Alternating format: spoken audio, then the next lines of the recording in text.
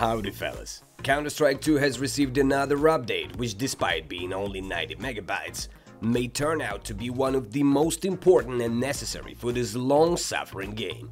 Today, as always, we will take a look at what Valve has managed to fix and peek into some leaks and news regarding to the future of CS2. In fact, there are two updates, one of 10 megabytes and the other of 80. And based on the official list of changes, the main one is fixing multi-threading errors that led to frame rate drops especially if all processors were busy. And if it seems to you that there is nothing special here, well, they worked with the processors and so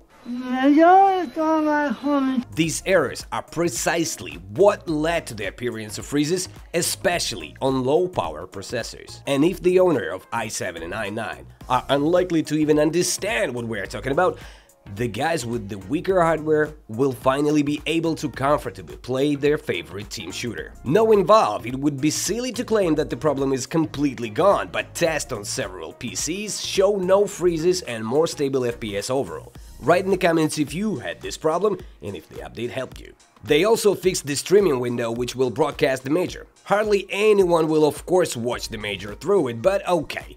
By the way, don't forget that on our channel we post the best highlights from CS2 tournaments. A cool leak is related to a file that has been in the game since beta times. It's a pack of patches for clothing, an option that was never even close to being in CSGO. What it does is exactly what you thought. It adds patches to the agent's costumes, just like stickers on weapons.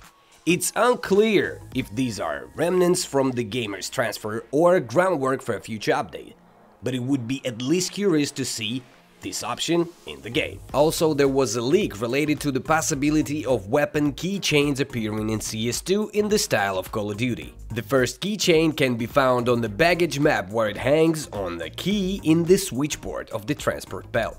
In the game code, they found lines related to quests in-game, which are most likely related to the task of leveling up the coin according to predictions. For example, win that many rounds on this map and so on. In the Panorama UI code for inspecting items, a tag appeared that is directly related to the background for inspection, which refers us to the major update, specifically to the store, where the item inspection background was usually in the tournament's color palette. And for some news, Valve cannot ban the most cocky cheater.